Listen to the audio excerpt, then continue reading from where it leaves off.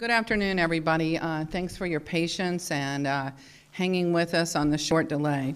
So, my name is Terry Benez. I'm the CEO of the Greater Williamsburg Chamber. We're honored to have you all here today, and it's my privilege to get to introduce our MC. So, Beck G is right here with us. Um, she needs to take a breath. Take a deep breath. You're good. You're good. Um, she's a native of Norfolk, Virginia, and she's had a colorful experience in the entertainment industry. First as an artist, and now she works as a PR director and award winning radio personality for her own top rated Saturday morning show, The Morning After Show at Famous Radio. It was heard by over 1 million listeners a year in 13 countries. She now houses her radio talents at Wu Tang Radio, where she co hosts The Final Word. Since being with Wu Tang Radio, she has embarked on a new venture as the Vice President of Public Relations for Wu Tang Management. She is captivating, I can vouch for this, inspiring, and a motivational speaker with a passionate, energetic personality. She is sought after all throughout Tidewater and Hampton Roads, especially in the entertainment industry, as an event host, a mistress of ceremonies, on camera media for celebrities, red carpets, and various events. And she's also a voiceover artist. She's a public speaker, a talent scout, and she can even sing. So, welcome Beck, G. We're so happy to have you here and to moderate our panel today and uh, bring out all the good things that our um, panelists are going to tell us. So, welcome. Thank you.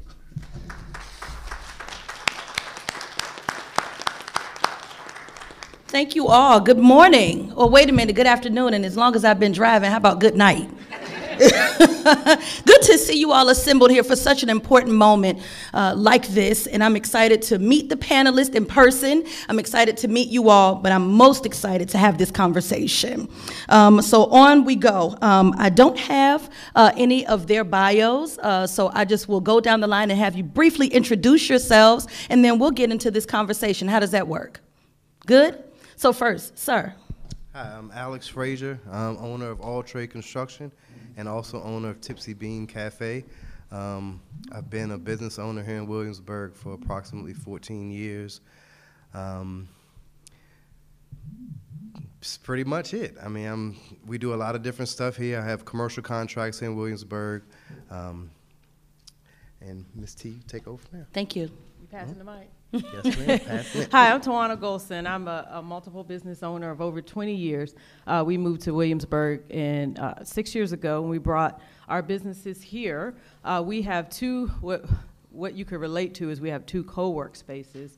We have one on uh, Old Town Road called the Maximum Building, where we help young budding entrepreneurs start up, and we help them retain and grow their businesses. And then we just acquired Work Nimbly in Williamsburg. So now we have a James City County and a Williamsburg space. And then my husband and I are also in the healthcare field, and we buy real estate, and we do a whole lot of stuff that it would take all day to talk about. And I'm going to pass the mic to Miss J. Good afternoon. I'm Dr. Jade Frazier. I am co-owner and a pharmacist at the prescription shop.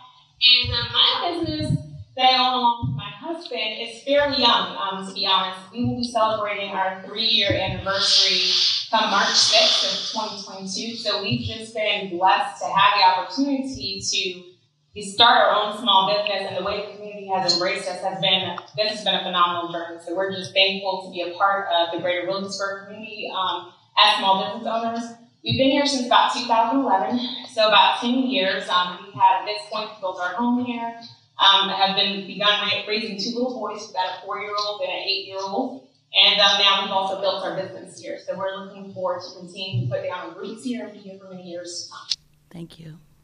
Thank you, um, and good afternoon, everyone. My good name afternoon. is Jorge, Jorge Yunat. I am a business and management consulting uh, business. Uh, I am honored here to be with uh, the fellow panelists, uh, and thank you for the invite to uh, participate in this very important conversation. Thank you. Glad to have you all here. If you can give them all a round of applause. Here we are before you today talking about building um, community and collaboration. It happens to be called Building Community Collaboration. Um, so I have a few questions I'd like to pose to these panelists, um, and then I have some specific questions for each of you. So first, the question that everybody wants to know what challenges did you face when starting your business? I'd like to hear from each of you, and I'll start with you, kind sir. Okay, so I'm happy that I get the get the mic each time first. We'll, we'll mix it up. Don't worry. I'm a DJ. Don't worry. All right. So uh, I've, I've had a lot of challenges uh, since I started my business, um, but one thing I've tried to do is stay disciplined. Um, there's a lot of different things that can take your business down. There's a lot of things that can take you up. So what I've done is I've always tried to make um, a list of the things that I don't want to do, um, and I constantly look at those to make sure that I don't do them. Um, there's a lot of different people that have helped me along the way. Um, I've learned building relationships with people and staying to your word of what you do um, is a big thing to make it where you can be successful. Great, thank you. Um, and please do be taking notes. I want to revisit some of your responses um, as we have a chance to interact with the audience. So thank you for that. Um, Dr. Dr. Ranger, I'll ask you next. Um, to be honest, I believe that my husband and I, when we branched out decided to open our own independent community pharmacy, we had been within our profession for almost 10 years. So we knew how um, community pharmacy worked and operated. We had an opportunity to kind of be groomed and trained. Um, so starting the business was a lot of work. I can't say that there were a lot of challenges that came along with that piece for us um, specifically, but I think the thing that we're learning as we go is being able to pivot, change, evolve, grow with the needs of the business. And so, um, to give you an example of that, obviously we all realize we just recently, and we're still within a worldwide pandemic, but we had literally just celebrated a one-year anniversary um, for the prescription shop, and a week and a half later, everything shut down. So, as a brand new business owner, that was extremely stressful um, many business owners can relate to just trying to realize how you're going to keep it going, what you're going to do. And so um, I think the challenges, like I mentioned initially, is just staying the course, but also realizing that there will be um, maybe some adjustment that you have to make along the way, being willing, uh, willing and open in order to do so.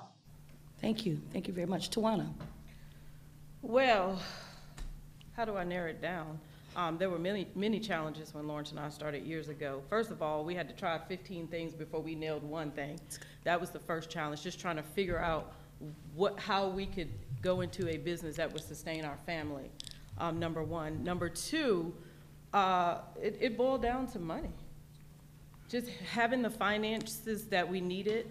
Um, we did the unthinkable. We took, we took from our retirement to start living our dream. And we had a lot of people tell us that we were crazy for doing that. We had a lot of people, because our children were very young at that time, and we were young as well.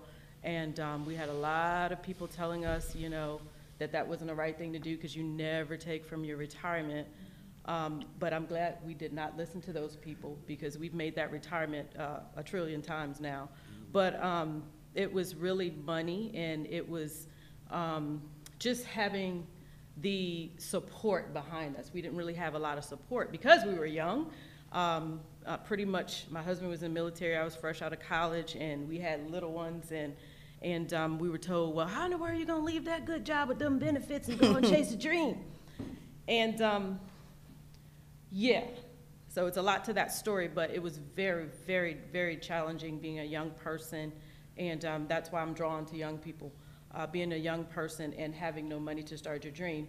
But, but we found some great people that were willing to mentor us, and um, here we are now today. Thank you very much. And kind sir, Jorge, please. From, from my perspective, uh, I would tell you from the um, business and management consulting industry, it's all about finding the talent, uh, qualified talent, that uh, would help you uh, you know, conduct research and do the right things for the customer. So in thinking in how to solve that, uh, the thing that came to my mind was to building that pipeline of uh, resources and talent that could help you uh, so that you can tap into into the future and uh, and gain from academia, science and technology, and business research as the resources that you need to have right next to you to be able to be successful. I appreciate that. You know, listening to um, what you all have to say about your challenges, it almost makes me think about um, y'all remember the commercial about Rogaine? I didn't know if that was the cause of the cure, right? But what I'm hearing you all say, where your challenges, seems to also be what set you apart and what helped to aid you in being successful now. Um, Jorge, I heard you say finding talent was one of your challenges. So, how did you identify that and then turn that into um, a, a, a, mode to success for your business? And thank you for that question. That's a, that's a real uh, good question. Uh, because as you develop your business, it doesn't matter what industry you're in, whether you're in pharmacy or uh, the other industries you're represented, um, it's all about building the, the network and therefore the connections uh, the meaningful connections, the professional connections, and the qualified connections to help you move to the next level. So building that pipeline uh, in, the, in the qualified uh, field of talent uh, is very important. That's good. Uh, Dr. Ranger, now I ask you to move your mic just a little closer. You don't have to get radio voice like me, but they just need to hear you in virtual land. but, but you said pivot, um, change, grow mm, an issue when you're a week and a half old, when you're brand new. But how did you take that and turn that into a, a mode for success for your pharmacy? Um, I think when it comes to being able to pivot, change, evolve, um, that's one of those things where we see the need for that both professionally but also personally in our personal lives. A lot of times we can, you know, put together a game plan. We think, you know, it should go in a certain order, and then it doesn't mm-hmm. because life happens, um, things shift, things change, and so if you're not willing to kind of, you know, that terminology we always use, roll with the punches, then oftentimes you'll be left behind. It's kind of like what we see with technology right now. So if you're a young business, um, but you're not willing to get involved with the social media or whatever the case may be, maybe because that's a shortcoming for you, then you're doing yourself a disservice because that ultimately is free advertisement for your business. Mm-hmm. So even for myself, and I think that's something we'll touch on maybe later on, um, is just what have you had to kind of figure out that you need help on, I guess, as you're moving forward when you're starting your own business and how to keep that going in a successful and vibrant manner. That's excellent. Thank you very much. Tawana, the same for you. What was the question? Well, you said um, that one of the challenges, some of the challenges that you faced, um, trying many things and then money, just and, and support. So, how did you take those three things in particular and turn those into uh, your your actual ways to successful businesses? Well, as time grew, I got to meet more people. Mm-hmm. Um, my as time grew, my experience grew. As time grew, my network grew as time, I mean, some things just happen because I've been on the planet a bit, a little bit longer. Mm-hmm. Um, and as time grew, you know, I got to, I got to learn more. So, but having to be able, but being able to hone in on when I needed to be in a space or who I needed to talk to and which network I needed to network with, that took a little bit of skill, mm. um, especially in in the in the healthcare field that I'm in, particularly with dealing with people with mental health issues and intellectual disabilities. So, because we kind of have a, a, a, closed community, and you know, if opening a store is a lot different because I own a few retail stores as well.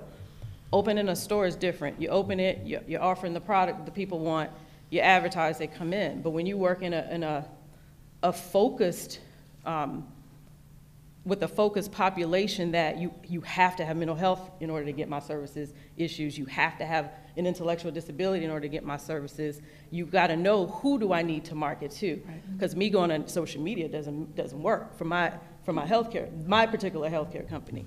It doesn't work because it doesn't apply to everybody. So I have to know who my network need to be. So learning and growing over the years, who I need to talk to, for what, because sometimes I'm in a real estate space, so mm-hmm. I need to go in that genre, which which pulls me being being a multiple business owner kind of pulls me in a lot of spaces, and it kind of it, it's tiring. I'm gonna be honest with you, it's it's very tiring sometimes because you always got to be on top of what's new and what's trending in each area. Right. So it can get very very tiring, but having a team.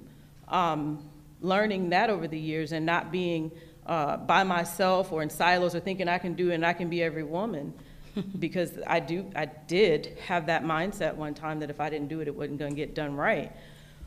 Learning to use a team and learning to delegate, um, all of that came with just being on the planet, growing, being a little bit more experienced, not trying to wear myself out. So that's, a lot of my success is because of the people around me. That's great. A lot great. of it is. It's because of the people around me. A, a lot of my success is because I, I know how to employ people smarter than me. Um, and when I say that, people that know what they're doing. I had a colleague call me, a friend actually, call me the other day because she bought her first piece of real estate and I talked her into it. And she's, I talked, also talked her into getting a property manager so she wouldn't have to deal with the day-to-day of it, it- really run it like a business. And she called me because something happened with the tenant and she says, how do you deal with this? You know, I said, I don't. She's like, what do you mean? I said, I don't. That's why I hire people to deal with that. They're the professionals. They know how to talk. They know how to deal with the courts. They know how to evict people. I don't know how to do that. So I don't. So knowing when, for me, knowing uh, when to hold them and when to fold them. All right knowing now. knowing, knowing when my expertise go, where, how far it goes, and knowing when I need to bring someone in that's a little bit smarter than me on a, on a place. I appreciate that. And so, Mr. Alex, talk to us about how you used um, your initial challenge of building relationships to now, um, you know, owning these businesses, having this restaurant. How did you understand that that was important, and what did you do uh, to facilitate building important relationships? Just being honest, um, being honest and trying to put my best foot forward each day. Um, the challenges, you can't stop the challenges. Um, they're going to come. So the best thing you can do is just try to set up a plan to be able to get through it the best way. Um, and that's what I've done over the years. Um, from with the construction company, I first started out with landscaping um, as a back a back outlet. Um, I knew with the construction company that initially I wasn't going to be able to have a certain amount of contracts, so I worked at it.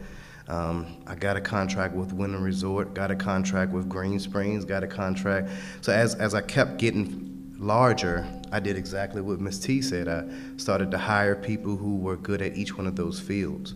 Um, and I held them accountable for what they needed to do.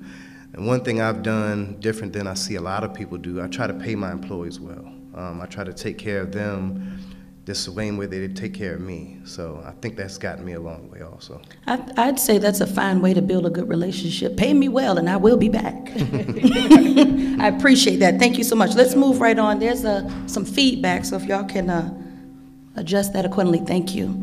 Um, so let's talk. I'm gonna I'm gonna come right back to you since this was your answer, and if you have to turn it off, I, I work in radio. I can cover this whole theater. So thank you.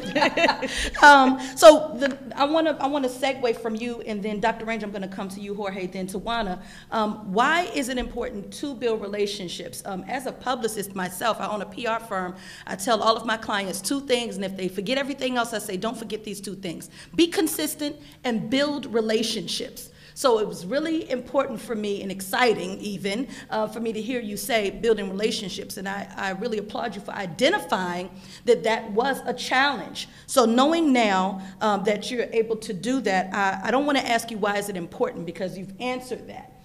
Um, what has it afforded you to date, building important relationships? So building important, important relationships actually speeds you forward in your in your career, because I'll give you a prime example. Um, I think each person on this panel I've done work for, um, and each one of them have recommended me to the next person, and that's from me building a relationship. Um, it's not from me coming in there and showing up late. They saw I was serious about what I did. Um, I took my business serious. So when you do stuff like that, the relationships develop themselves, um, and it, they speak. It speaks for themselves. That's great, great. And, and when we say important relationships, I think uh, the panel understands, but just for the listening and viewing audience, important relationships, mutually beneficial, symbiotic relationships, where you give and you get, right? Um, uh, Dr. Uh, Jorge, sorry, got to. I'm looking at y'all and talking. Jorge, please, um, why was it important for you and, and what did it afford you? Sure, it's, uh, from my perspective, I think uh, it builds inclusive uh, type of environments for the work, uh, for your workplace. And, uh, you know, I, in a recent study published by the uh, Harvard Business Review, uh, which I like to just share with you, some uh, they identified six traits that found that effective inclusive leaders should have, and I just like to just go over them, and then feel free during the uh, Q&A session to to ask me more about this. But they identified six things that are, are uh, very uh, important for inclusive leaders. Number one is uh, visible commitment, uh, and you can only do that through relationships. Humility, uh, awareness of your own bias, curiosity about others, cultural intelligence, and then effective collaboration. And that only expands on building relationships with a purpose. That's great. Thank you very much, Dr. Ranger. Building relationships um, within this community for the prescription shop has been one of the things that honestly has catapulted us into the success that we've experienced in such a short time period. Um, we're trying to bring back that mom and pop pharmacy feel where we truly are your most accessible um, healthcare professional, but you always trust us. You come in, um, we know when there's recitals, we know when there's soccer games, we know what's going on. So by building that relationship with our patients, um, they're more likely to come to us for advice when you know something goes wrong in their in their health. So they're wanting us to basically help them either triage the situation. Is this something that we can treat over the counter? Do you need to go to urgent care? Do you need to go to um, an emergency setting? But in the same, I think, way, not just making the connections with our patients, but also making the connections with other people within our community, other small business owners. We, we've been able to kind of build this support system. So they support us, we support them. No one's getting a kickback. We're generally helping each other, but we've seen that by coming together, we've gone so so much farther, I think, than we would have if we just only worried about the prescription shop and didn't try to collaborate with anyone else in the community. Mm, interesting. Thank you very much. Uh, Tawana, what has building important relationships afforded you? You knew you knew you had to ask me that question. I had to. you know what, Beck? Building relationships is is Everything. it's everything in in, in business. Um, I have s- I have so many relationships over the years that I can. If I don't know somebody that knows somebody that knows somebody, they know somebody that knows somebody that knows somebody that does something. Um, I can get anything done because of the relationships that have been built. I don't know how people do business by themselves because even if you're providing a service, you still need a customer. Um, or you, you know, if you may not have a tangible or physical product, but you're providing a service, you need somebody to buy from you. So having those relationships for me has been th- everything. It's been the, the cross between getting a contract and not, getting getting money or not. It, it had really has been. I have people that have called me and said, "Hey, I remember we were on the PTA uh, together 20 years ago." which landed me a contract 20 years later because we were on a PTA and we did work together and that relationship was there. So I would tell anyone in this room if you're afraid to, I, look, I'm an extroverted introvert. I'm up here sweating right now. I don't want to be up here, but I'm always in front of somebody talking. I really much prefer the, the company of myself, really. And that's, that's something I learned about myself. I can be in a crowd, I can be in a room, but I really don't, that's not what I want to do first. I really want to be at home with a cup of tea, reading a book, or writing in my journal. But I make myself, and I have made myself over the years. I rather talk to people one on one, face to face. I'm really good at that. Um, but in a crowd, it's like, ugh, I could do without another networking event. Oh, I don't want to go there. I don't want to talk to these people. But I make myself. I, I force myself. I go in with a goal of talking with someone and not just saying, asking them, "What do you do?" Because that's the famous, "What do you do? What do you do? What do you do?" That gets on my nerves. That's why I don't like to go. Um, but, but I try to ask, "Who are you?" who are you? What's your name? What's your story? What's your jam? What's up with you? And that, that takes a little bit longer because that's really building a relationship, because that's really getting to know who someone is. That's really getting to know what, what makes that person click. And that takes a little bit longer. So, um, building relationships is everything. Yeah, that's really good. Dr. Ranger, I want to um, ask this next question of you. Um, is there a relationship that you have forged and, and it and it really, really worked for you. You didn't know you needed it until you had it. Not your husband, somebody else. Absolutely. Prior to becoming a small business owner in this community, we lived here. You know, we we had a small group of friends and family um, that we usually interacted with, our church members. But I never felt a true sense of the community until we became small business owners because it opened a whole nother door to people and opportunities that I would have never considered or even thought of um, prior to opening the prescription shop. And so I would say for us, I guess con- connecting with other small business owners within Williamsburg has been major because whether it's doing um, a collaboration with the Virginia Beer Company where we have coupons where for those who were encouraging to try to come and get vaccinated um, in a climate where so many are hesitant to receive their COVID-19 vaccine, that community partnership um, Virginia Beer Company has been here a little bit longer than us, I think only about five years, but they've already established relationships within the community. They're also Williamsburg, um, William and Mary grads, so they have that going for them. So you identify other small businesses that are up and coming, that are doing well, and you see how can we do collaborations because ultimately it's good PR for them, it's good PR for you as well. And so that's something that we've, I think, done a fairly good job of, of trying to identify other small business owners that we can collaborate with, and then ultimately we keep those connections going. Because like Tawana was mentioning, half of time, and I know this is not a secret to anyone in this room, um, but no matter how smart you are, no matter how driven you are, um, when it comes to the real world, a lot of times it is really who you know. Um, and we that's so cliche, you hear it all the time, it's who you know rather than what you know, but that's true.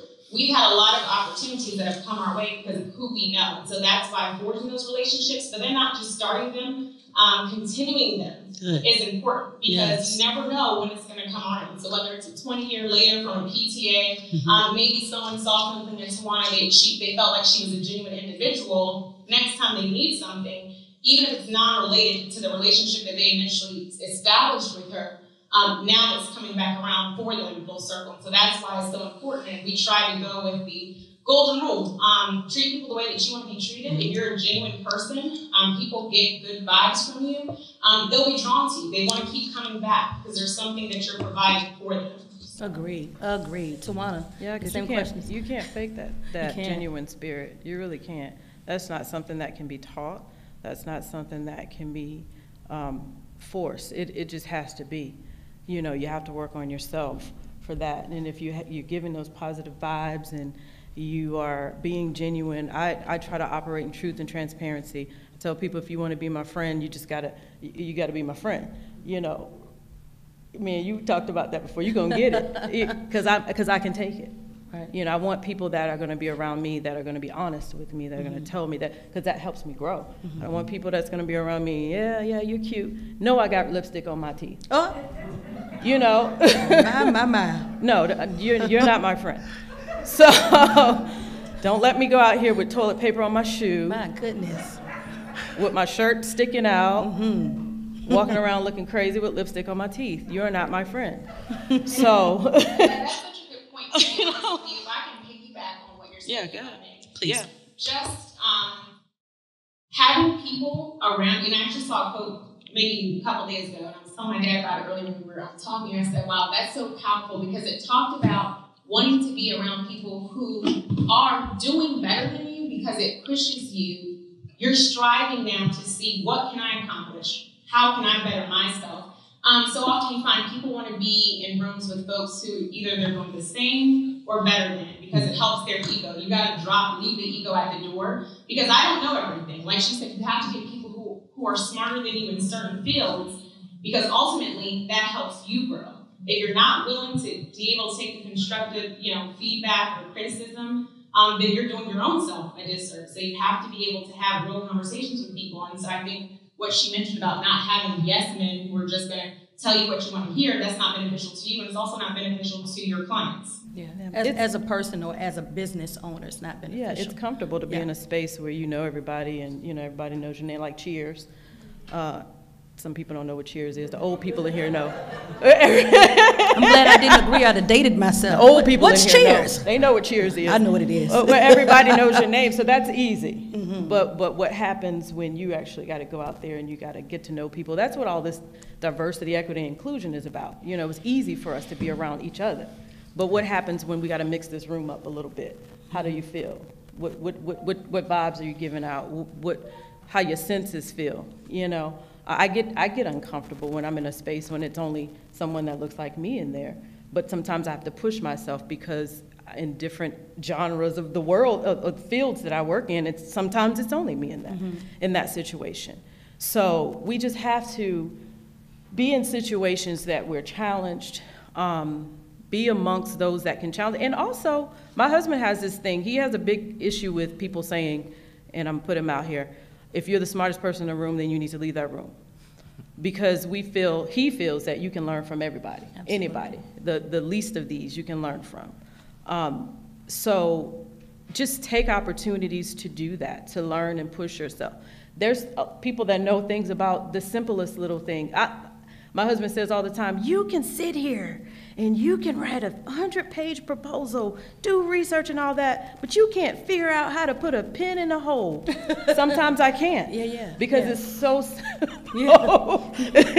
I get, com- I get, I get stumped on the simple things sometimes. So we need every, I said all that to say, what'd you say? That's that's funny. I'm sorry. It is funny. I can hear It him is. saying fun. that. I get simple. He, he, yeah, he think he, yeah. Anyway, um, um, but it takes all types of people and everybody and every joint supplies and every creed and every genre and every level of education. It takes us all. There's no cookie cutter way to life. Yeah. And if we recognize that early as business owners, we can function so much better, especially when you have employees, working people to their strengths. I've mm-hmm. spent a lot of years spinning wheels trying to make people do what they just couldn't do, working them. I've, I've, I've had assistants come and go because of my personality. Yeah. You know, I put it on me because I was trying to make someone who really could not, that wasn't their strength, be their strength. So, and I'm rambling, so shut me up anytime. Thank you. I will, don't worry. Thank you for those answers, ladies, though. And to the gentleman, I want to ask of you, and Jorge, I'll come to you first. Um, when it comes to collaboration and it comes to diversity, um, what have you noticed in your own comings and goings? Um, whether it be, you know, wow, we really need to work on this as a business community, or I found something that works well and we really can mix it up and, and, and benefit from each other. So, talk to me about your views on collaboration and diversity. Oops, that was not on the script. It wasn't, it wasn't, but I, but I know you know, though. I know you Although- know. Although I gotta tell you from. Jorge, Pete- you wrote a script? Uh, I got a script. so, uh, but going back to dating ourselves, uh, uh, going back to Cheers, uh, I have to tell you, uh, you know, it's uh, you have to get out of your comfort zone, and uh, and of course, uh, if you remember those years of Cheers where everybody knows your name, remember that? Yeah. So, uh, and I have to just uh, expand on that by saying, if you are, if you are not getting out of your comfort zone to, uh, to reach out for new heights and, uh, and different levels, then you are missing the point. So, yes, I- I'm sorry, what was the question? Yeah, well, well, actually, you're answering it. The question is, um, talk about uh, the benefits of collaboration and diversity, and uh, what you just said about getting out of your comfort zone. Like me asking you a question that's not on the script. I mean, you're doing it. You know, it worked out well. Well, thank you. But yes, sir. Check? Yes, check. Okay, good. Did you have anything else to No, add? we're- we're- okay. we're good, thanks. Thank you very much, Alex. Can I ask of you the same? Yes. Um. So, can you ask the question one more time? Yes, yes, the benefits of- that you've seen with your own business eyes um, of collaboration and diversity. So, I would say, as far as the benefits of the collaboration, um, when you have different types of people that come together who have strengths and weaknesses, we all learn from each other. Um, and it's kind of getting on what Jorge said also. Um, you know, if you're not uncomfortable, then you're not, you- you're in a space where you feel comfortable. You have to get out of that to get to where you want to be. And it's a perfect example of right now. This is not where I want to be, just like I'm sure everybody else, but I know that I'm going to be used to make a difference.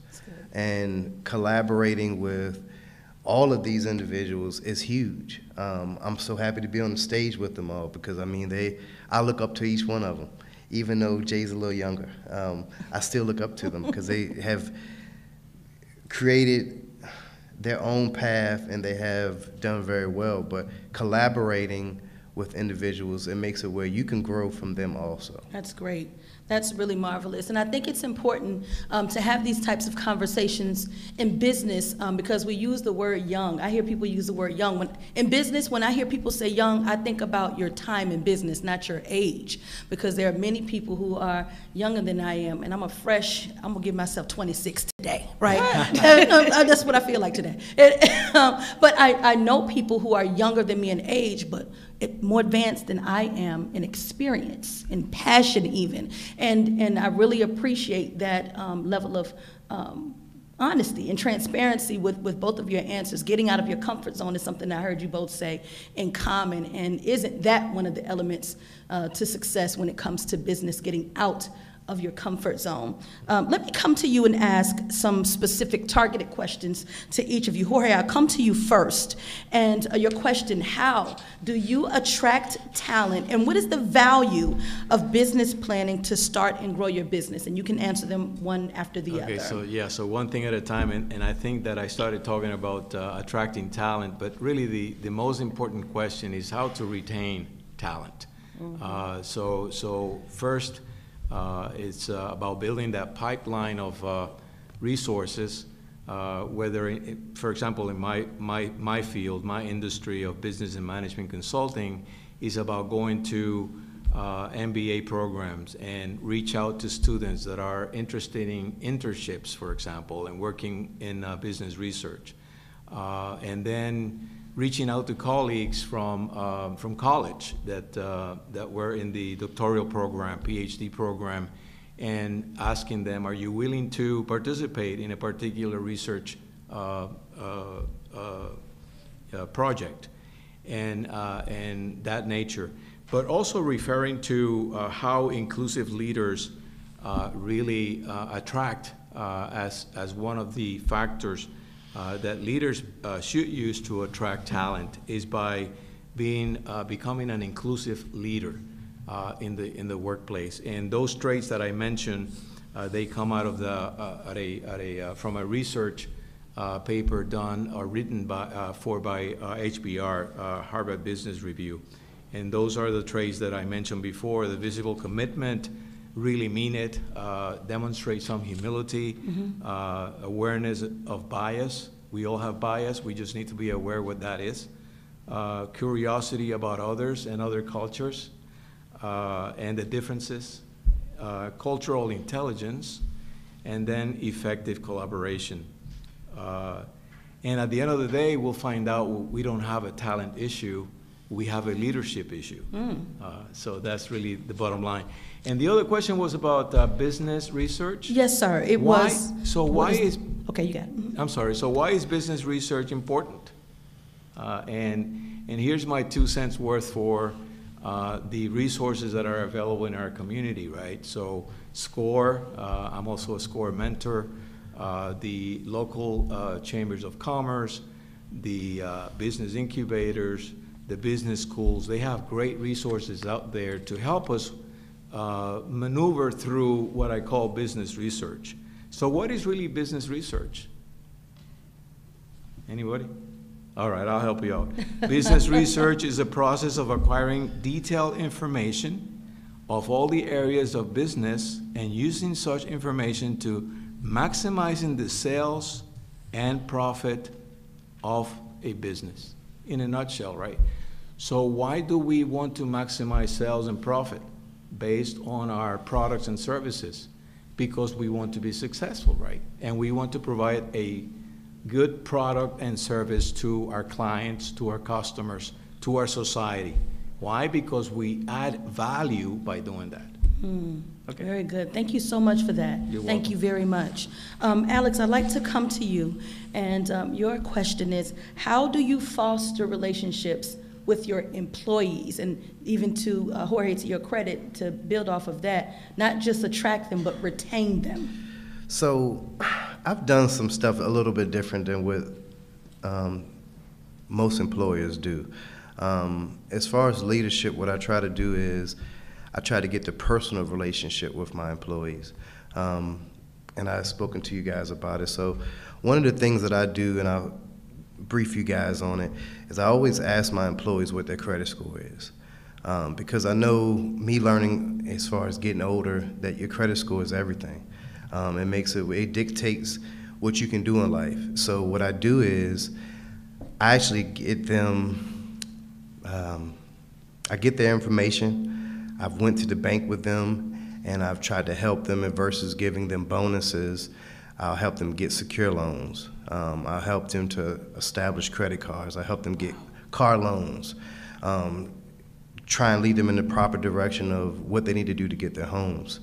Um, so when I build that personal relationship with my employees, I've learned that they see that I'm genuinely wanting the best for them. Mm-hmm. Um, so on the opposite side, they are wanting the best for me because I can't be on every job site with every employee every day. Um, so that's one thing that I've done that's a little bit different than others um, to build the relationship and to become a good leader for my employees. That's really marvelous, really marvelous. And, and, and quite unique. I haven't heard um, a business owner say that before, right, ladies and gentlemen? And um, if, if, if I may, um, how did you figure out that was a way with your people? Well, you always want someone to help guide you in the right direction. Mm-hmm. Um, and I always felt if, as if they're working for me, they're working for me because they see what I'm doing and they want to follow the direction I'm in. So I've just always tried to. I, I didn't have that growing up. I didn't have an older person trying to school me on to do this or do that. I did have my mother, I had my father, but there was certain things that they didn't do, um, which I'm not saying they did anything wrong, right. but I didn't care to learn some of those things. So when I got a little bit older, I say 20, 21, I saw how important it was to make sure I had these things in line. So when I started my business, um, I had my personal credit, which I had built up, um, and then I got my business credit established. And that, me doing that was huge. Um, it made it where I was able to take one business to start another business. Um, so I took AllTrade to start Tipsy. And Tipsy Beans has been a, a, a great thing here for Williamsburg. Um, a lot of people like it. Yeah. Um, it's something different. Um, you can't go to, you, you, you're just not seeing that in Williamsburg anywhere else. I like Tipsy Bean. I've been and I ate all my food off my plate. So uh, thank you for Tipsy Bean. can I can I just say uh, applaud um, Alex for what he's doing with his employees because it goes back to relationship. You took the time to build a relationship mm-hmm. with your employees, not just see them as oh check number five, but you actually got to know their name and, and, and people. Even if you're not paying them a huge hourly rate, people appreciate that time with them. They appre- I'm sure they appreciate you going to the bank with them because that's life changing. What you did was you took what, what, what changed your life and you passed it on, and that's what this is all about. That's, what, what the about. relationship is all about. So I just had to give him his kudos indeed, for a second. You can indeed. skip my question. Dr. Ranger, um, to you, how have you had to step outside of your comfort zone um, to grow and to improve? And that's a pretty unique question for you, only being three years old, right? Talk to us about that. I would say that similar to what Tawana said, um, I'm usually someone. I've always been a very talkative, chatty Cathy. I'm easy to make relationships with other people, extremely friendly. But I've never really been one to, I guess, be out in front and receive a lot of attention. I know some people say, well, really, you cheered from seventh grade to your junior in college, and so I get that, but in general, I enjoyed kind of being under the radar a bit, and that's one thing that I kind of had to address when we realized we wanted to open a small business is you do have to get out of your comfort zone. I think that's something we already touched mm-hmm. on. Um, if you want your business to be successful, it means that you have to put yourself out there, and whether it's um, like what we've done with the social media with the prescription shop, or what Tawana had mentioned, which was making those relationships behind the scenes for the type of business that she has, um, you have to put yourself out there. So for me, I hadn't been on social media um, for 10 years prior to opening the prescription shop. But the last time I was on social media, uh, there was no Snapchat and Twitter and MySpace. is, is out there now. um, but when we realized we were going to start a small business, we also knew that we needed a way to get our voice out and reach other people. So we realized, okay, we're going to have to do the social media thing. And I felt a bit like a senior citizen trying to tackle that because things had changed so much since the last time I was on Facebook and you had to have a college login in order to sign in. Um, and so what I would say for anyone who's pursuing, you know, becoming an entrepreneur, getting out of your comfort zone, doing things that maybe you're not good at, admitting that to yourself, asking for help can go such a long way because I have people coming all the time. Um, it's not related to the service they've received in the prescription shop. They're just like, wow, your post was really uplifting to me today. And so that means a lot. It's a small thing. It's time consuming. It takes a lot of time. But when you're realizing that you're connecting with those people on that level, and some that you may have never met, um, it's still rewarding. And so whether it's the social media piece that you're struggling with, or website, or making the relationships behind the scenes, um, you're going to have to put yourself out there. And I think through this experience, through my journey, that is what I've learned the most of, that you never know what an email, one email that you send, one phone call, one meeting, one, you know, cup of coffee you have with someone. So I take the opportunity to send so many emails reaching out to people. Ultimately, a lot of it is a waste of my time. I never hear back, or at least right now, I think, oh, that was a waste of time because I didn't hear back. It didn't turn into the opportunity that I hoped it would. But then sometimes it comes back in a major way, I'm like, wow, that one email, the one phone call, such a small gesture, me putting myself out there saying, hey, I'm Jade with the prescription shop, and wanting to reach out, make that connection, has now turned into something major for us as it relates to um, our community engagement or just whatever. And so that's why I would say that if you're going to be serious about growing your business, you will have to put yourself out there. You will have to try to make those connections because it can take you such a long way. To get what you never had, you have to do what you've never done, right? Very good. Thank you so much, Dr. Ranger. And, and last but not least, Tawana, um, my question to you um, is, well, where is it? It's here. Why, do, why does someone need, uh, what does someone need to do to start and grow their own business? And then what resources have contributed to your success? I know you have a magic formula. uh, so, so share that with us, will you? I don't know if it's magic, but but I believe in team. I believe Yeah. in having a winning team. Period. I believe every business owner, if you're one person, if you have a winning team, you can appear as if you're a Fortune 500 company. And what I mean by that is just the basic foundational uh, team around you that every business owner need. That we didn't really figure it out uh, for years into our business because we had our dream and we were just so happy to get started and we never thought we could have these people at our access, but we do now and have had built strong relationships over the years and we share it with um, those around us. But everybody need what they call a bail team, and we add a few more people to it.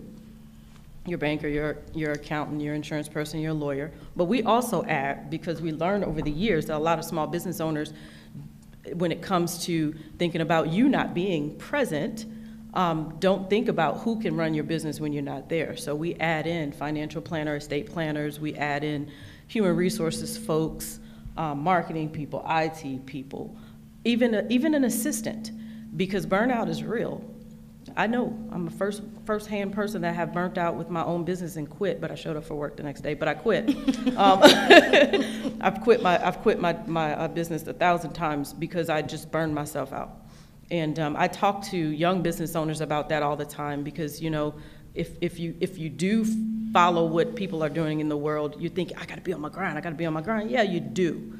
You do, but there have to be some balance to it, and you have to have a team with you so that those those areas in life that you're not good at, that you're not smart at, can be put to the folks that are good at it and that are smart in those areas. So we keep a winning team around us. That's what have catapulted us to where we're all to, where we are today. I can afford not to have them Yeah. um, at this point in my life because in my infancy years of business, it was like, oh my God, we can't afford to have no attorney. We can't afford to have no accountant. will look, when the IRS is knocking at your door and you've, you've switched over to another uh, tax bracket and you don't know how to handle that, you need, a, you need an account, not just an accountant, you need somebody that knows tax law. Um, because it can get really ugly. So I tell any new, I tell the people that I coach from the beginning, build those relate, going back to relationships. You may not have the money to afford them on retainer today, but let them know who you are. Call them. If folks say, hey, here's my card, call me, go ahead, put them to the test and call them. And, and let them know your name so that when you need a lawyer, they'll answer the phone because you don't need an attorney when you need an attorney. You need a relationship way before. You need somebody that you know that's going, I can text my attorney right now, their answer, right now because of a relationship. Right. Everything is relationship bound and everything is having the right team around you. And that's my key to success is having a team around me, always having people around me that know know what they went to school to do. I don't try to be it. I let them do what they do. You know, so If I can piggyback on something actually both Tawana and Alex mentioned, and it goes back to having a team around you. Um, something that we always say is teamwork makes the dream work. Um, and I think it's so important for us um, when it comes to our school, we only have a small staff of six people. We had a major undertaking at the beginning of this year when we had to administer the COVID vaccines. That was really stressful. But with the team that we had, because we've invested so much in them, and that's something that you've heard others on this stage say, they then are investing back on us. So, like Alex, when you take time to get to know your associates, their families, their needs, and you show that interest and that you care, that goes such a long way. Um, with investing in the associates that we have, they're going to be there with us. They want to be there with us because we made them a part of the process. So they're excited to see this is what we've accomplished in almost three years. What can we accomplish in five years? What can we accomplish in ten years? They feel like they're a part of building the legacy that we're trying to create here. And so that's why it's so important.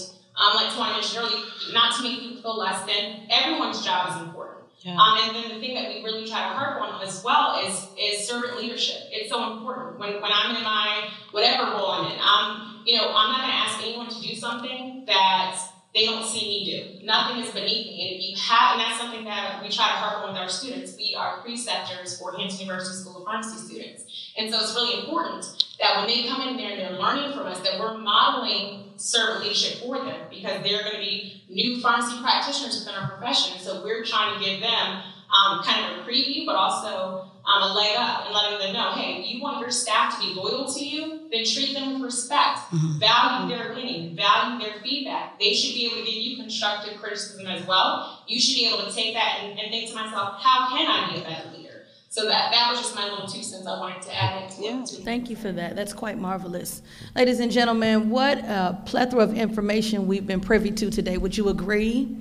Yeah, that was six of y'all. Y'all agree? All right, all right. Well, um, just before um, we move to uh, another, closer to the end, I want to give you all an opportunity uh, to connect with these panelists and ask some questions uh, that you um, have or some questions that you've written down because of what you've heard today. Um, so I'm going to en- enlist the help of Miss Lauren back there in the back. She's a wonderful microphone carrier. Just give her a big round of applause. That's just marvelous. just marvelous. Carrie. So all we just ask that you do is, is stand where you are, just raise your hand, and she'll bring the mic to you uh, to ask your question.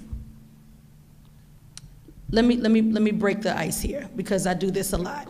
A lot of people won't ask a question because you think it's not um, a really smart question. I promise you, the question you ask, there are about four other people who want to ask it. You get to do it out loud. And you're on TV. Let's go for it. Anybody? Thank you. Lauren? She's going to bring the microphone to you so they can hear you. Thank you, ma'am. The virtual people. Yes. And I'll ask all of you all, if you are current or potential business owners, state your name and your business and ask your question, please. Um, my name is Danita Sanders, and I own the Phoenix Experience. We do paint parties, and I also do bookkeeping. Thank you. Uh, thank you. Um, first, thank you to each person. I took a plethora of notes, so thank you so much for all the information today. My question I have is you, you use the word young, and as soon as I heard the word young, I'm thinking young individuals. So, first of all, thank you for making that clarification in business because my question is um, at 46, I decided to quit working full-time and become a full-time business owner. Congratulations. Thank you. but I have been beating myself up because I felt like you're 46 and you're trying to do this now. Hearing that kind of opened my eyes a little bit. So, my question is what advice would you give someone who's actually June, July, August, September, six months old um, in doing business? What advice would you give someone that is my age and said, you know, I want to go to work full time instead of thinking, oh, it's too late for me? Well, I, if I may, before the panelists, uh, congratulations to you and uh, for taking that leap. And uh, you're a business baby, but congratulations on your business baby. Please. Jorge. If I can just start by just saying that, uh, well, by the way, congratulations on taking that big step forward. Never too late to learn, and never too early to start. So with that, I want to sum it up and, and leave it to the panelists to, to help me with uh, expanding on that. That's great. I agree. That's great. Um, I want to say congratulations, Danita. I know her personally. You, you're not new to business. You're, you're new to stepping out and being only the business without having a, your business, your, your uh, job as your side gig anymore. So I said that's a very, very um, unnerving place because I've been there. Hair standing up on my head, you know, trying to figure it out. Um, with two little kids looking at me like, Mama, you sure? and a husband says, Hey, let's do this. But um, it is scary. So what I would say to you right now is, is expand your network. Get around people that's been where you are. Get around people that can help you go to another level in what, what you're doing. Um, get to know some more people. Because this right now, this is your full-time gig. This is your jam. This is how you pay your mortgage and your car notes and all that stuff. This is your jam now, girl. So this is where the rubber meets the road. So you've got to do it. This is where your life depends on it. So uh, get you some get you some more friends. get to know some good bankers too. Yeah. They look out for you. Danita, congratulations um, to you for starting, you know, for taking that leap. I tell people all the time, that leap of faith is scary. My It's husband scary. Actually pulled me along, kicking and screaming. Um, it's this is not something that we had planned for years and years. We kind of decided about it in summer of 2018, and we were opening uh, March of 2019, and so it was a very quick transition. Um, it was scary, uh, exhilarating, all of these emotions all in one. The thing that I would say is keep your faith strong. You have to have something that you can rely on. And for me, my faith is that thing, whether I'm praying in the shower, in the car, during this panel discussion. Um, it's my opportunity to stay connected and make sure that I'm leveled. Because there's so much chatter around the world. So there's be so many things, naysayers, things, people that will make you doubt yourself. But if you're staying true to who you are, God didn't give you a vision if He wasn't going to give you the provision. Come on. Okay. That's good. So my Took us, advice. took us to church right quick. Thank you. I like that. So I would like to say also congratulations on that. I know it's not an easy endeavor that you've taken on, but it's it's gonna work. Um, you just like Jay said, just keep your faith. Um, my advice would tell you is to stay disciplined.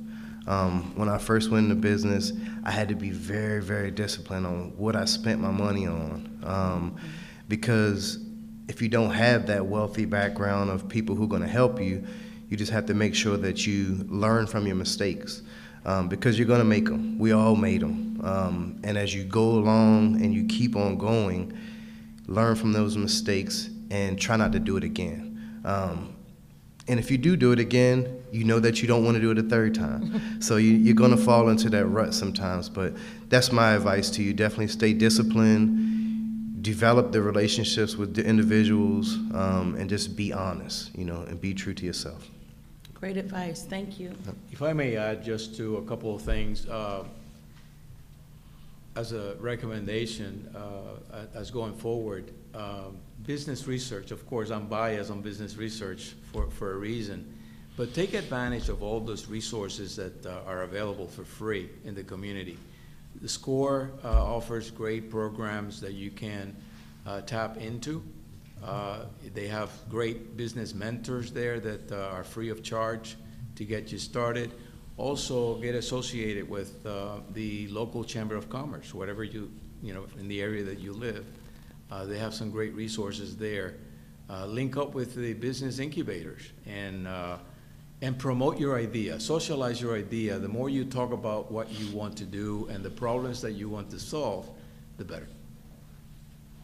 Thank you very much. I have a question for you all um, from a virtual viewer. Um, Nuego Thomas, and I hope I pronounced that correctly.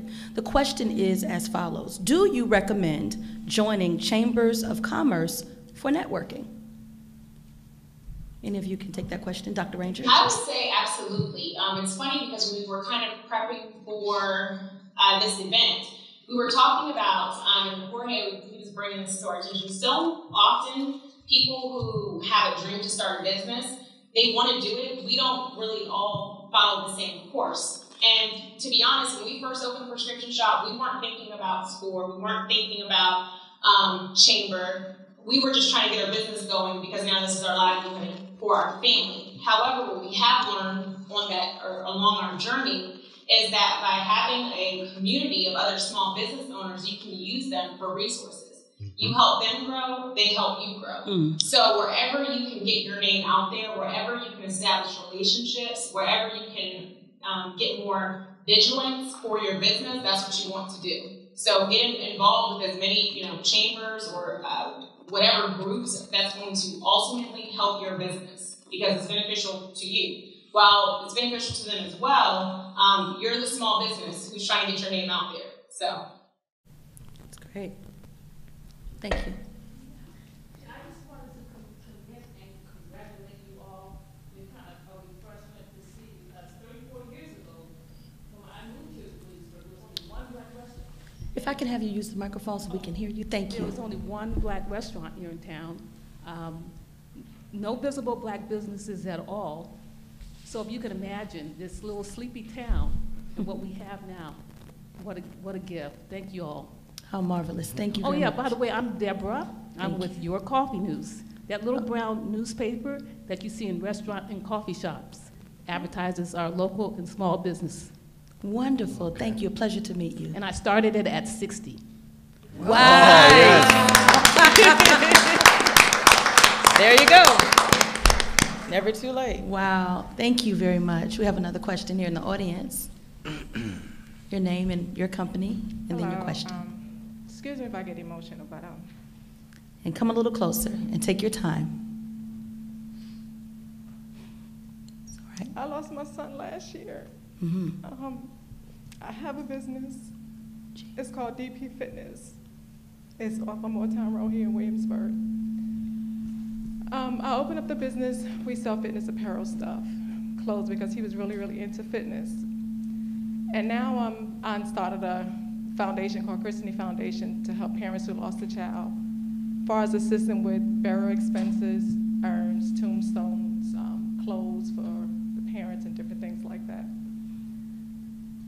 What I want to ask you guys is, it's a struggle for me every day. Mhm. Um, when I open up my business, as far as getting help to pay rent and different things like that, I can't get it because of when I started my business. So, what can I do to continue my my son's legacy on without losing my business? Because everywhere I go to, can't nobody help me. Not only that, I'm starting this business, this nonprofit organization to help parents who lost a child because I know what I go through on a day-to-day basis to try to give them some type of normalcy, to try to help them. But I don't know where to go in reference to trying to get help. So I just need some type of suggestion from somebody to, like, I wasn't even supposed to be here today, to be honest with you. Yes, you were. Um, I came to the library because I'm launching Christine Foundation on November 6th here in this auditorium. Congratulations. And um, I just so happened to see the lady out there, and she told me what this was about, so I just stayed. Um, so I know it was nothing but God that wanted me here. But um, I just need, I need help. What's your name again, ma'am? Eureka. Eureka, uh, do you have a mentor? No.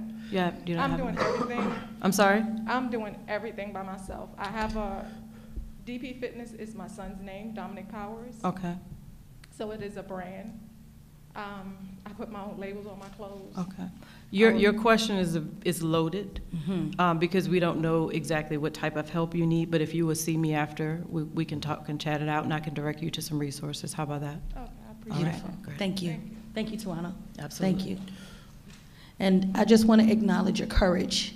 Thank you um, for to- sharing. To share and your courage to um, embark on a business journey in the midst of your grief. Yeah. And I think it's safe to say that there's a room full of people who just automatically support you. So congratulations and thank you. Yeah, absolutely.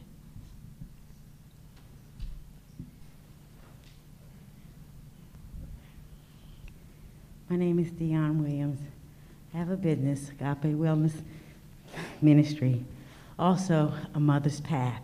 I lost my son eight years ago, and a mother's path is a part of that. I mean, I go out and I go out and I have a group of women, about 100 and some, maybe 200 and some, from all over the United States who have lost their child or have a child that's disabled. And I go and allow them to be open and transparent about anything that they deal with and have lost their child. And so when you said that, my heart just started beating really hard, and I said, ah, so that's why I'm here today. And so we reach out and help them in any way that we can possible from all over the United States. And so when you said that, it just struck me really, really hard. And so we do these types of things from all over the United States. I'm also an author. I've written two books. Um, and also just minister to a lot of women from all over the United States with any type of things, any type of things that, excuse me, any type of issues that they deal with. And that's been going on. I lost my son in 2013, but I've been dealing with other things with women since 2005. Are you also a nonprofit organization? Yes. And um, Ms. Eureka, you're a nonprofit organization as well? Okay, great. What I'm going to do, uh, there's a, a, a nice young man in the back, Dean, if you'll raise your hand, from SCORE. Yes. Dean is a nonprofit specialist. And uh, after this session, you definitely want to go back there and talk with him. Uh, he has a phenomenal program that will teach you how to scale your nonprofit. A lot of times we go into, I have a nonprofit organization as well because I'm passionate about charity and, and what's on my heart. Uh, oftentimes, nonprofit organizations are started that way. It's, it's your passion, it's something that you want to do to help. But we forget sometimes that nonprofit organizations are a business first. It's, you have to be in a corporation to, to get that status, that, that tax status, 501c3. So, how do you scale that so you can help more people is what you guys need to know. So, you need to know Mr. Dean. Um, Dean, I can't say your last name. R. Dean from SCORE. He's in the back. So, make sure you, because that's going to be one of the resources I'm going to send you to, one of many. So, make sure you get to know Dean when you, before you leave today, okay? And, and since the beginning of uh, this session, we've heard over and over again relationship. Relationship. I'd encourage you two to get to know each other. And thank you, Dean, for thinking of this. Yes, yes, yes. Thank you very much. We have a question here. We have, uh, We have a time question. for this question and one more, please. Thank you. Hi, my name is Katrina Robinson, uh, and so my business is, uh, has a negative age because I haven't launched it yet. Um, I'm in research and development. I uh, make skin and hair care products. Nice. Um, I am so happy to be here today in the midst of all of you and in the midst of all of you. I had uh, a session with a SCORE uh, mentor about a year ago, and he spent about an hour on the phone with me telling me, um, giving me leadership and guidance as to like the, the my next steps. Um, I haven't really, really done any of those things because I'm in, like I said, research and development with my products, um, getting my product line um, uh, squared away. Uh, and so since that time, I, I've been getting emails from SCORE, and when this email came in, I saw all of you, and you looked like me, and I knew I had to be here today, and I'm so glad that I came, as I'm sure everybody is in this room. You have been such an inspiration. Thank you so much, as well as the moderator. Thank you so much. I'm so inspired and motivated. Um, the question that I have is, so I know that as a business owner, I will work so many times harder than I ever have for a, a company. How do you renew and refresh yourself? Are you able to spend in those first years any time whatsoever in downtime? I think it would be it- important for T, Tawana to answer that first, and then can I come to Alex? The um, burnout Dr. queen? Ranger? No. Yeah, and then Jorge, yes. Thank you for sharing uh, with us, and, and let's talk afterwards. I own a, with, with my sisters, I own a beauty supply store in Norfolk. So let's chit chat about your products. Anyway, and we pride ourselves in, in shelving um, African American women products in our store. So we can have a good conversation. I can help you a little bit with, with your research and stuff. I have some connections, like Jorge say, use our colleges and universities. I have some connections for research at Hampton University if you like, if you're interested. All right. Anyway, I'm all look. I'm doing business in between the thing. Of, That's what this, these That's what moments this are is all for. about. These moments are for. try to try to think of ways to help people. right, Jorge? Yeah. Right, right. Just, I'm sorry, I didn't catch your name. Katrina. Katrina. Let me congratulate you for what you're doing in research and development Yes. prior to launching your Yes, brand. yes. Let, Yeah. let me give you a round of applause. there. Uh, I, I see it as the key to success. You are on the right path to do that. So uh, keep doing what you're doing and launch when you're ready and you're ready only. Right. That's good. And for those of you all, because some people might be in here and be like, dang, I ain't do no daggone research and development. I just started. like me. Like me. we ain't doing no research. We, we had a dream and we got up and woke up that next morning and we did it. Uh, for, for some of you all that just don't know that you don't know, that's one of the reasons why we're here too, so that information can be disseminated. Because a lot of times, um, especially, and I'm gonna speak for a black woman, in my community, um, what's, what's common for the majority is first-time information for the minority. Um, Jorge, I respect him because he's Dr. Jorge, but a lot of times we don't go down a, a systematic way in the real world to start our businesses. Sometimes it's just a dream. That's why you hear a lot of the stories more so on TV that makes TV about, oh yeah, I woke up and boom, here it is.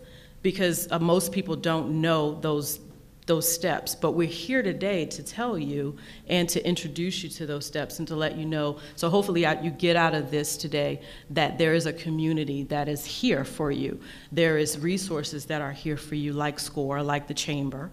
Um, like other business, like my husband and I, we, we have a mentor, coaching and mentoring services and, and co-work spaces. There's other business owners that are willing to share information. We just had to get together in a setting like this to let you know that we're here.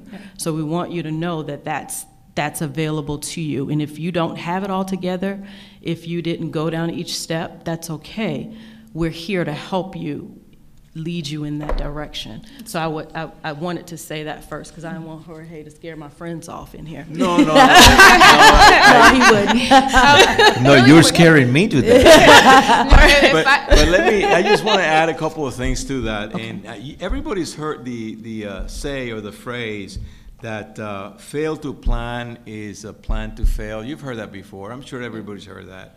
But I, I just want to twist that around by by uh, replacing that failure with learning. So if we were say, uh, if we would say, learn to plan and plan to succeed, sounds a lot better. I like that. So, uh, just, just like keep, that. keep that in mind. Thank you. I wanted to, to mention really quick, um, Ms. Katrina, congratulations to you as you're taking these steps. And I know you asked about kind of a work-life balance as a up-and-coming business owner. Um, the great answer, the one that sounds nice is, oh, you know, you drink a lot of water, you exercise, you do yoga, you do meditation, you fit. The reality is, as a new business owner, sometimes I can't remember what day of the week it is. I Yes, can't remember what time it is. Right. Um, I am struggling to get X, Y, and Z done at my store before I have to take my kids to taekwondo or tennis or piano or whatever activity we're doing that evening. It is extremely stressful, and I think sometimes people do have the misconception that um, if you own your own business, then you're on your own time and you can do whatever you want to do. That's false. False, false, false, false, false. True, true, true. If I can't, you know, say anything more about that, please remember that. When I used to work um, for a larger corporation, I went to work, I did my job, I came home, I was off at that time. So I might have, you know, ranted here or there. Maybe I was a little stressed at work. Maybe that did carry on to my home life. Now what I have is my my work is my life and vice versa. And as a business owner that's something you have to kind of come to terms with. You have to understand that's going to be a thing. And maybe that won't always be the case for me. Eventually i hope to get to a place where tawana her husband are where they've kind of already been through the trenches. They can do a bit more delegating. But the stage that my husband and i are in we're in the grind grind grind. So we have a packed a game plan of okay we're going to have to put in this amount of time probably for the next X amount of years, whether that's five to seven of us working in here. Sometimes we might feel like we're working ourselves to death. Um, but ultimately, we're trying to build that foundation for our family so we can get to the next step of being able to delegate a little bit more. And so that's something I would urge you. When it comes to your brand, you're in control of that. So you want to have help, but you're still going to be putting in that time, you're going to be putting in the effort because it's your story, it's your journey. So just remember that chances are, once you get started, you're going to be tired you're going to be exhausted but you have to keep pushing through because it's the the outcome is so rewarding it's worth it and instead of you working you know yourself to death for someone else the difference is you can take pride in saying i'm doing this for me i'm doing this for my family and so it's just a completely different scenario that's great thank you all we have a final question I, here. I, I gotta. Oh. I never answered it. oh go ahead I never answered the Oh. self-care, healthcare, wealth care Oh. question. So let me just say it real fast. Mhm. Um, I used to be where Jade is. Jade, Jade could be my daughter-in-law. How about that? Mhm, If she was single, I would have recruited her. But anyway, I used to be where Jade was and um, worked, work, work, work, work, and didn't didn't care to have a balance, honestly, because they had to be done. Um, and my per- if you know my personality, you know I'm up two and three o'clock in the morning. If I got some on my mind, I'm better up doing it than in the bed because I'm Yeah. I'm working in my sleep. So that's my personality. But I my body shut me down one time, and it only had to do it once, and I got it. if you don't take time to breathe at some point try you do have to grind in the beginning stages but always think behind there's got to be one day it's got to be one hour it's got to be one something for you and it's not selfish self-care is not selfish you've got to take care of yourself if not your body will tell you and then you'll waste time in the hospital so think about it that way you've got to do something for yourself self-care is not selfish okay Marvelous whatever that advice. means for you. Yeah, that's marvelous advice from all of these panelists. We have one final question. I want to pose this to you, um, Alex, um, and this is from Nuego Thomas again, online. When did you determine it was time to hire staff? Um, if, you know, when you were a one-person show, did you look at finances or an influx of clientele to make the decision to hire? Great question. So the line of work I do, I've never was a one-person staff. Okay. Um, when I started, I had help. Um, they weren't actually people that were on my payroll, but I would get people to help me here and there. Um, but you have to have staff. Um, some people have businesses where they're self-sustaining. Most businesses are not.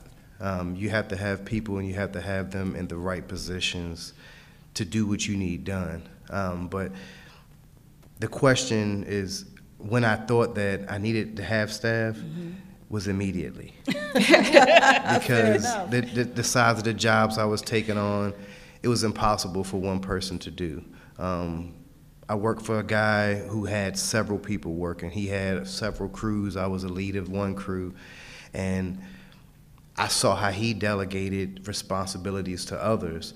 So I learned from him. Um, so I say that to say this when you get ready and you get started, figure out who you need where, um, do your research on your employees, and hire who you need as you need them.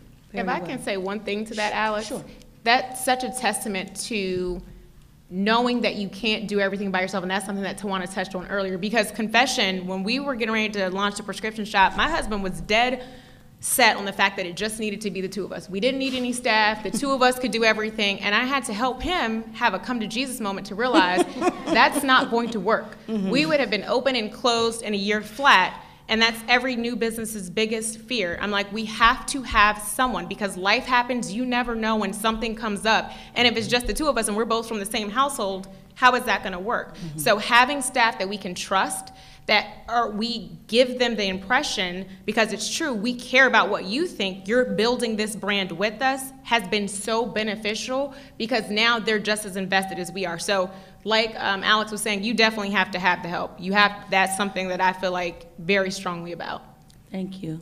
Ladies and gentlemen, I hope that you've gotten as much out of this as I did, and I knew what was going to happen. How about that? Um, it's been a pleasure, a privilege, and an honor to facilitate this conversation. And I do a thing. Um, when we're in a moment like this, I don't take time to run down all of their businesses. If you're that interested, come meet them, right? But please give a round of applause to Alex Frazier, Tawana Golson, Dr. Jade Ranger, and Jorge Yanat, PhD. I'm, back, gee. oh, well, hey, hey, hey, hey. Who did a wonderful job. Yes. Thank you for having me. I'm going to turn this over to you, Terry, to introduce the resources. Thank you again. Thank you so much. So if y'all would hang with me just for two or three more minutes, I want to tell you some important things. So we've got some resources here in Williamsburg that I don't know if you know about. So the Chamber of Commerce's job is to collaborate, to network, and to advocate on your behalf as businesses. So I want to share a story. I started a business here in Williamsburg, and I ran it for 10 years, and I took it from zero to $12 million. And when I did that, I was a member of the chamber board. So I'm really honored to have this job now because I know how it works for businesses. And what you hear over and over from this panel, I would come to networking events, I would be talking to everybody. I would be like, okay, how am I going to figure out how to use somebody I met to give me an opportunity to drive footsteps into my store? Or what kind of event can I co host with them? So um, there's people in this room today that I've partnered with. So that's what I would say to use to you is to know the chamber is a resource. And if you come to our networking events, you've been in the business six months, that's awesome. So I'm so inspired by you. I've been doing this for a little bit over three years, and I learn stuff every single day by people that are smarter than me. So come and reach out. You've got in Williamsburg and James City County, and York County, we work so well together. You've got economic development offices, and all of those. You have the college has Cremdell Small Business Association. You have SCORE. You have the NAACP, and we all work together really well. So reach out. But I would say the thing that, if you heard anything here today, it's the relationships. So I want to tell you a story about each one of them on the panel, and I was sitting there thinking. So, how I met Jade was I went in and talked to her husband, and I was a customer before I knew them as a business. And they were outstanding. So, I reached back and said, Hey, I just think your business is great. And then I got to know Jade from her husband, Henry. So, um, and then she got to be involved with us. She got to be on some of our networking events and with our Women's Business Council. And they do a lot of um, great partnerships with other small businesses. So, what they're telling you really is the secret sauce. With Alex, how I met him is my staff came back and they said, We met this great guy. He's a business owner. And they were all so happy. Do you know he knows everybody's credit score that works for him? and I'm like, What? so I'm like, Tell me about him. So they were so excited about him. And then T and Jorge, we met because I wanted to know more about the Hispanic businesses and all the businesses that T um, is bringing. And T, and I have some very um, like she says, we talk very honestly and how we can benefit the communities and how we can bring different businesses and change the look at the table at the chamber. So if you hear anything else from me, you've got resources. Dean has created from SCORE a really great sheet that will also come out in an email. If you didn't sign up for today, get one on the way out or give us your email. We're also able to help you with your small businesses about your son. So um, please reach back to me, and um, Tawana will give, will give us as one of the resources. But I would say use our networking. We have small networking. We have tables of eight, which are only eight people, and then we have 300 people networking events. So find where your comfort level is, and all those are new customers that are waiting to hear from you that will want to connect with you. So look for our resource sheet. And then I want to give a huge thank you to our panelists. You are absolutely phenomenal. If you want to share this with your friends, or if you want to watch it again, we have, we, it will be streamed and on our site. Thank you to SCORE for being a partner, and Lawrence, I don't see you. Um, Thank you for the NAACP partnering with us as well. So thank y'all, and thank you for coming.